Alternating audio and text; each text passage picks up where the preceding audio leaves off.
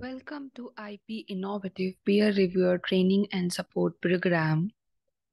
This is Module 5, and in this module, we are going to discuss ethics in peer review. Peer review ethics determine the moral factors and rules that guide to govern the process of judging and quality of academic work by authorities in the same subject. This is a very important question that what is ethical consideration of peer review? It is essential for preserving the integrity and authority and caliber of academic publishing and scientific research. It aids in ensuring that published work adheres to a set of standards for relevance, validity, and accuracy. The peer review process is a confidential process. Reviewer must aware about ethical statement of peer review.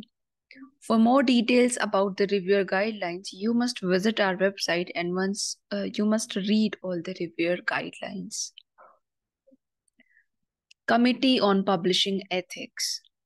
IP Innovative generally follows all the guidelines as mentioned by COPE and on its website.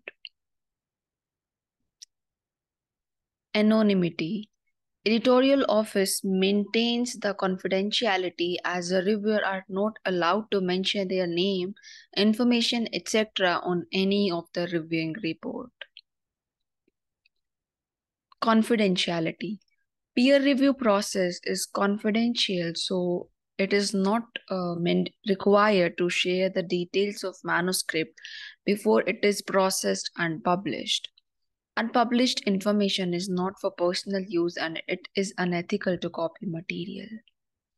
Conflict of interest. Innovative ask reviewers to inform the journal editor if they hold a conflict of interest that determine the review report either in a negative or in a positive direction. Generally, the editorial office team will check such issues as soon as possible and we really appreciate the cooperation of reviewers in this matter. Now, we'll be discussing some key points that are mentioned by COPE on peer review ethics. Peer reviewers play an important role in ensuring the integrity in publishing and in scholarly record. The peer review process depends to a large extent on the trust and willing participation of scholarly community and requires that everyone involved behaves respons- responsibly and ethically.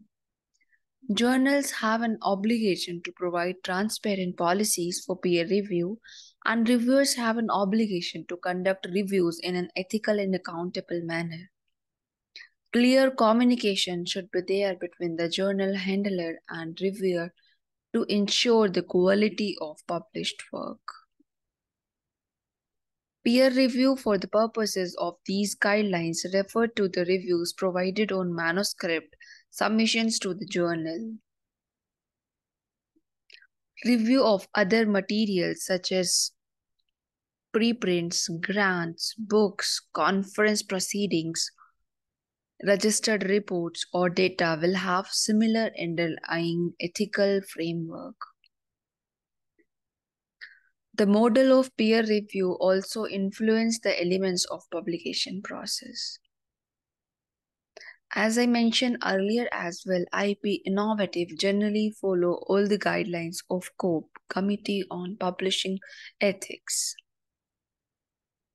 Thank you so much for being a part of our reviewer journey.